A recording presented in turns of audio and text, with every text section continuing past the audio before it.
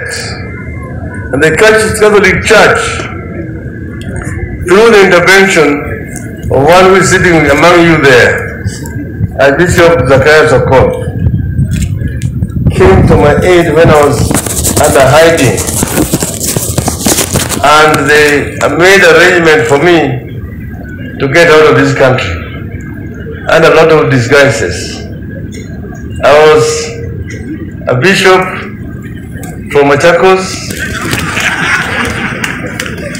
I moved along like that and uh, I passed through these police roadblocks from Nairobi and uh, arrived in Kisumu. They took me across the lake all until I reached one of the islands in Uganda and eventually I went to Kampala. So I'm so grateful to the Catholic Church and I'm a Christian.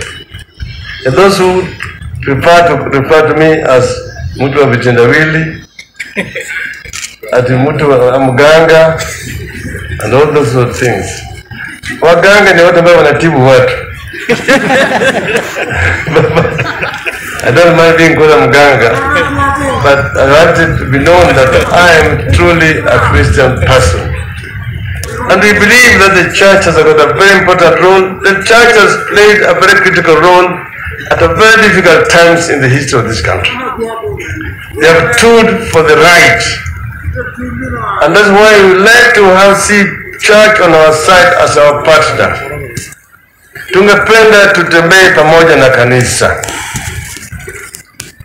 Hili mnaona when we did the handshake, we set up a task force. And the task force was one of you, Bishop Zacchaeus Okoth. We had Bishop Njenga of the Anglican Church. We had Bishop Matthew of the Methodist Church. And that's what actually surprises us.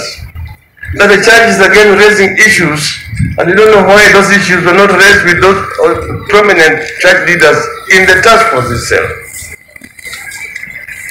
The BBI a, has a transformative agenda for this country.